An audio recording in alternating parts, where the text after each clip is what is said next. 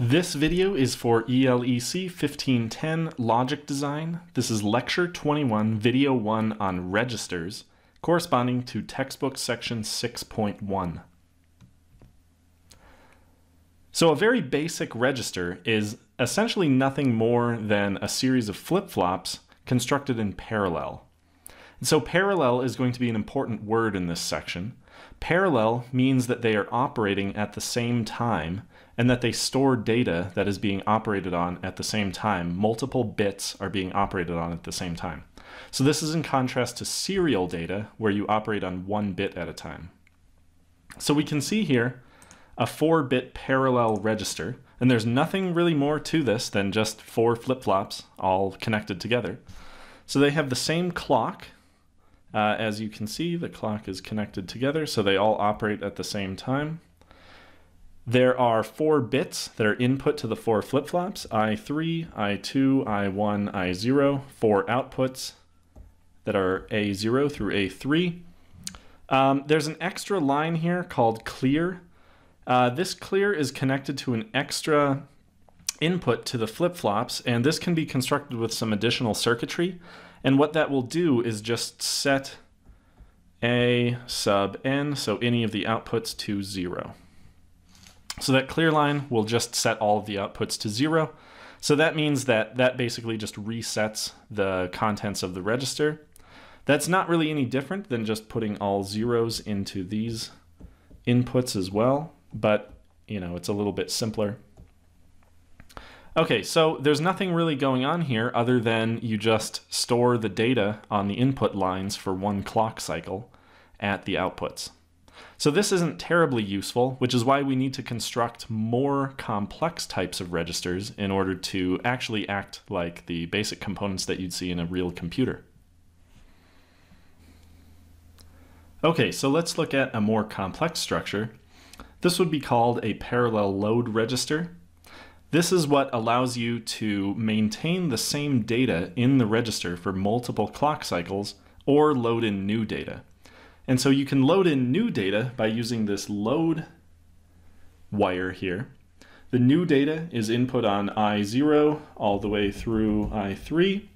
The outputs here obviously are A0 through A3. So this is an interesting structure that allows you to actually maintain that data by having it feed back to the inputs of the flip-flops. The reason why you would do that is because it's just generally bad practice in computer design to turn off the clock.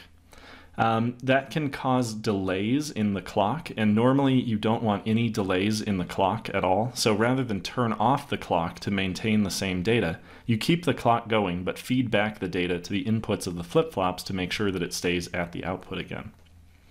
So if we look at one of the inputs to the flip-flops, say D right here, the logical function for D is going to be load, and I'm going to call load just L, just for uh, brevity's sake. So it's going to be load, or L prime. So that is this line right here, L prime times A naught. So that's the output from the flip-flop. Or L times I naught. So now you can see that in this case, when L is a zero, D is equal to A naught, and so it maintains the data that it used to have.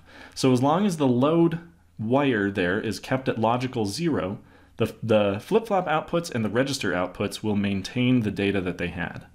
Now if L goes to a 1, in this case, so again 0, 1, if L goes to a 1, then you load in new data from the input lines I0 through I3.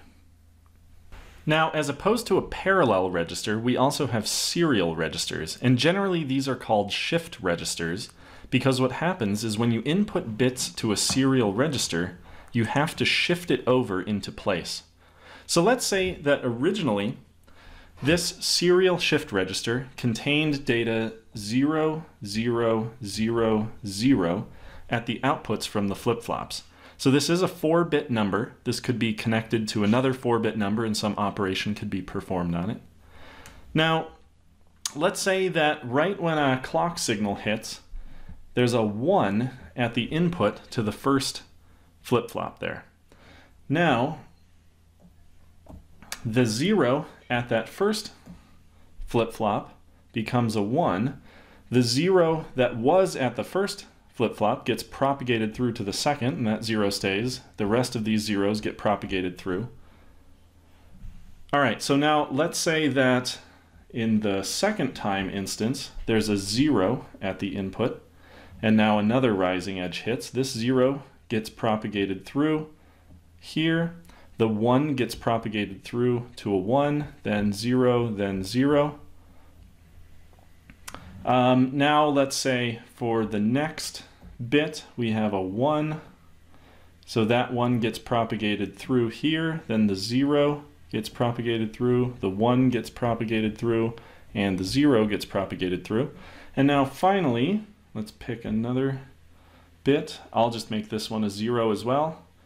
Another clock hits, that 0 gets propagated through, the 1 here becomes the 1 there, then 0 moves, then 1 moves. So as you can see, we end up with 0101 stored in the bits of the register, and it took four clock cycles to shift all of those bits over into place. So this is clearly a different structure than a parallel register. In some ways it can be more efficient. Um, you do have to take more clock cycles in order to store all of the data um, because clearly it took four clock cycles for the first bit to be shifted all the way over into place. If this was a 64-bit register, it would take 64 clock cycles, so it's a little bit slower. Serial transfers, by definition, are usually slower than parallel transfers. We'll see more examples of uses of serial shift registers in the next lecture as well.